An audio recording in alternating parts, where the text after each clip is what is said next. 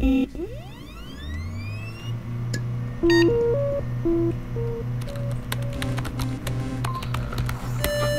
where I came from? A computer. Only drawings, like this one.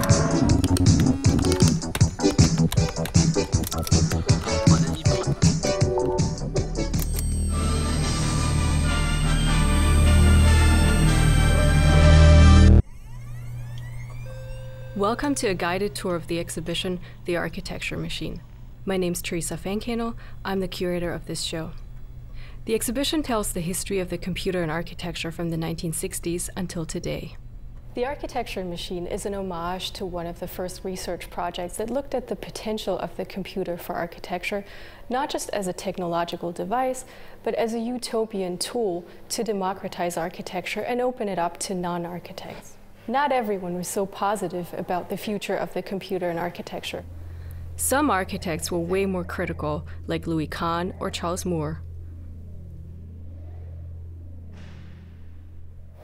The exhibition comprises about 250 exhibits and 40 projects dating from the 1960s until today. To tell such a long history, we have opted to break it down into four chapters.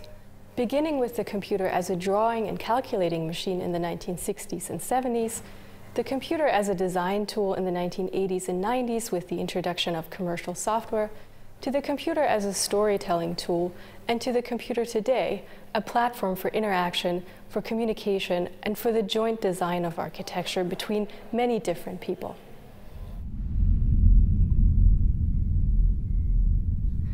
The first chapter, The Drawing Machine, looks at early applications of the computer for architecture. Researchers, programmers, and architects were looking for applications of the computer for architectural purposes. The projects we're showing here present early ideas of how to use the computer for drawing, for saving the drawn ideas, and for how to calculate large amounts of data.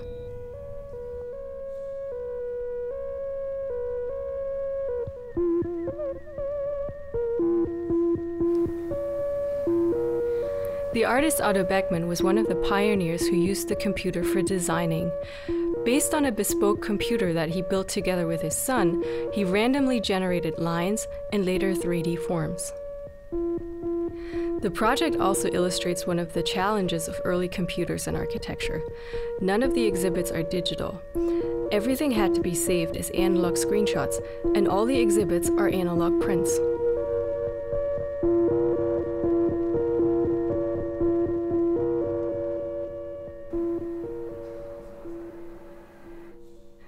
Multihalle was one of the early projects in Germany that was designed and calculated using a computer. The timber gridshell was calculated using a computer at the University of Stuttgart, and a large layout plan was drawn using that same computer.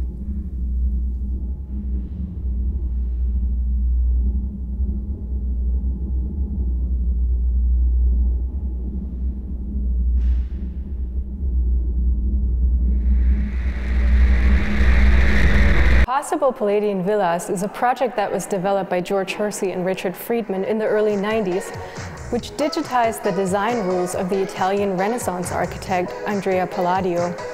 The program allows you to generate floor plans automatically simply by entering a ratio of the width and length of the desired building. The exhibition also includes a timeline of architectural software. From the 1960s until today, we've researched the history of how architectural software was developed. Starting with the first software, Sketchpad from 1963, developed by Ivan Sutherland, we look at different aspects of how computers help people design by modeling, by drawing, by animating, or even by rendering architectural projects.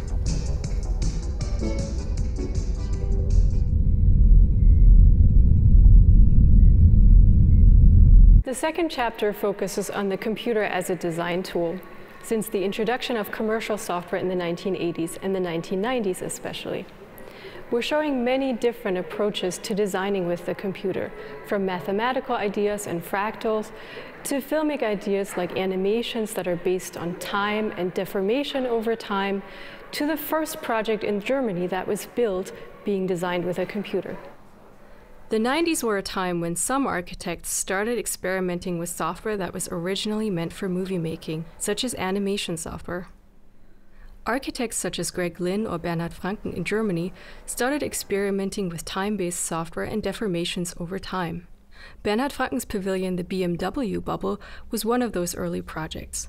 The design was found by merging two drops of water over time and finding the ideal moment of when to stop. Based on a simple form that was generated by the computer, the architect selected the final shape.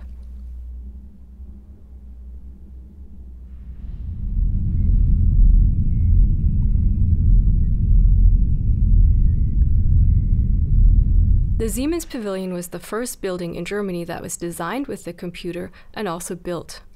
The architect Ludwig Rase and the programmer Georg Nees collaborated on this project that was developed before commercial software existed.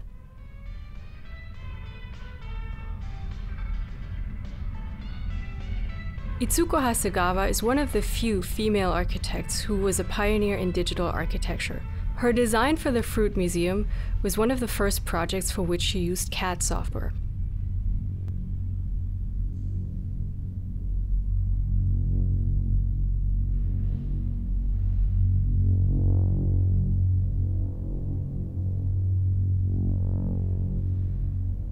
Manfred Wolff-Plottegg was one of the early pioneers in Austria who started using a computer to generate floor plans automatically that were then printed on endless paper and selected for further use.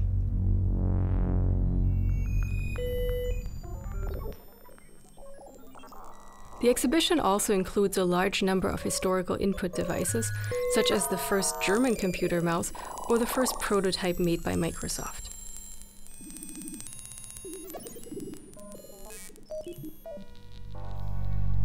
The extension of the Victoria and Albert Museum is one of the few projects the Architecture Museum has in its collection. Based on a folded design by architect Daniel Libeskind, the structural engineer Cecil Balmond tried to find a way of building the structure using the computer. Barkow Leibinger shared a similar interest of using repetitive patterns for their facade of the Trutec building in Korea.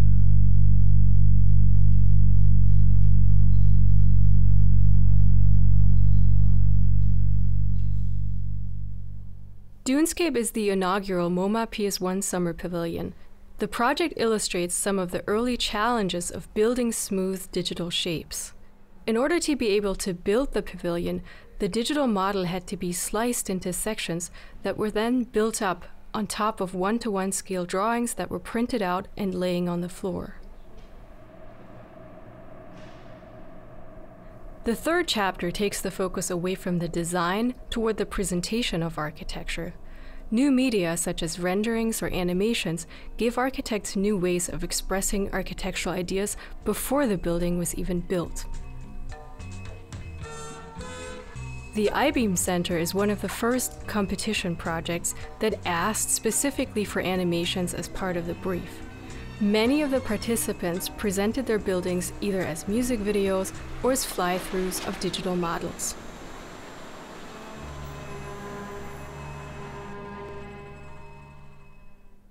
Renderings allow architects to visualize their buildings before they're built. From abstract ideas to almost photorealistic presentations, renderings allow architects to tell stories about their buildings. Cornell in Perspective was one of the first walkthroughs of a digital model. The final animation was created by filming each of those frames on a 16mm film.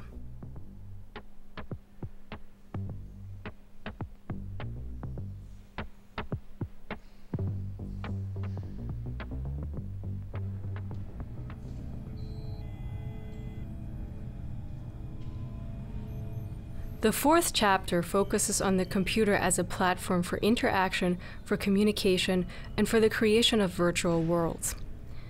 Since the introduction of the Web 2.0, the Internet has allowed more users than ever before access to virtual tools. John Frazer's model for self built houses allowed clients to design their own buildings. The model was connected to a computer screen that could directly output layouts, cost estimates, and lists of components.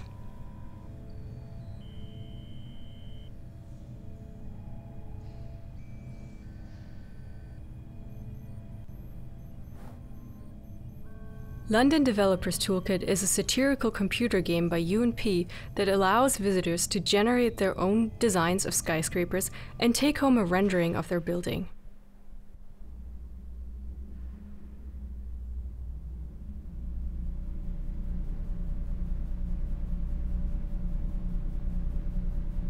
The virtual house competition included seven international offices and illustrates the difficulty of finding a common definition for the word virtual in the 90s.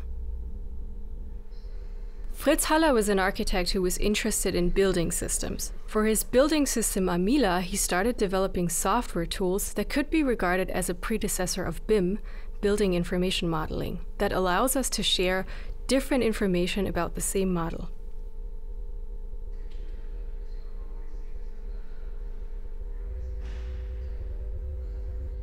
The Freshwater Pavilion is one of the early buildings based on topological ideas that was built by the Dutch office NOX. Shop architects developed a new augmented reality app to allow visitors to dissect the physical model of the Barclay Center.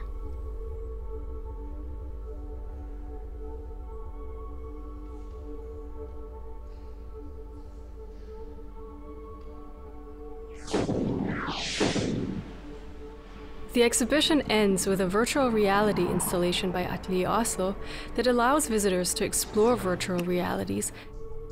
Thank you for joining me on this tour. We look forward to seeing you soon in our galleries.